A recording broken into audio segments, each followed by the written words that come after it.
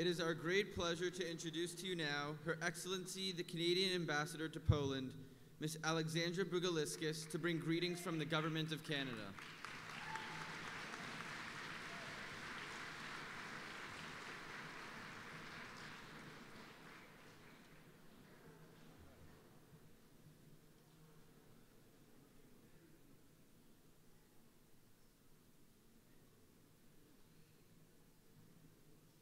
That's a pretty hard act to follow.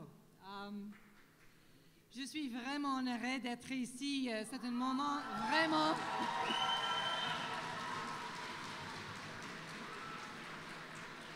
très émouvant.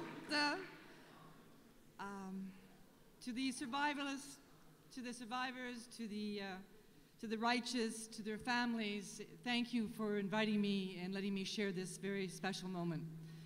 Prime Minister Stephen Harper once said about the Holocaust it was a genocide so premeditated and grotesque in design, so monstrous and barbaric in scale, and so systematic and efficient in execution that it stands alone in the annals of human evil.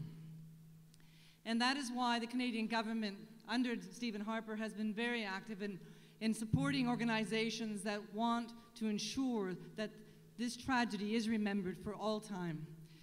We, uh, the Canadian government supports organizations like the Auschwitz-Birkenau Foundation, or as well the International Task Force for Holocaust Education, Remembrance, and Research. In fact, Dr. Mario Silva will be here with us on April 19th when we commemorate, of course, the Warsaw Ghetto Uprising. But what really counts is people like you, all of you here tonight. You're the ones that make the difference. Je suis tellement impressionnée par le nombre de jeunes ici ce soir.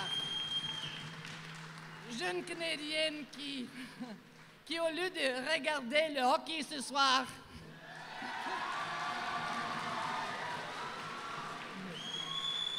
young people who, instead of being home watching hockey, and I was told by Eli not to mention this, whether they're watching Les Habs or the Maple Leafs or the Senators,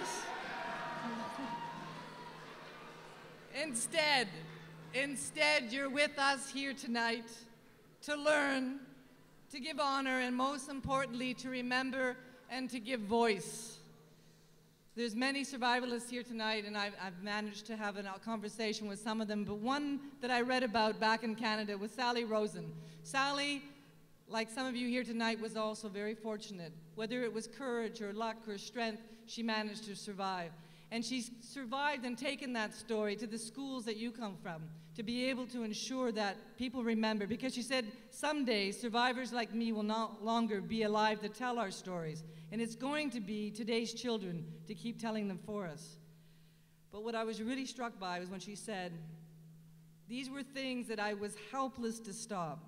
But it is easy on my soul talking to the kids because somebody is listening. And maybe those that do listen will know how to avoid these things.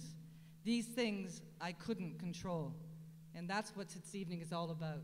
That you will go out with that memory, and more important, that mission to make sure never again. Thank you.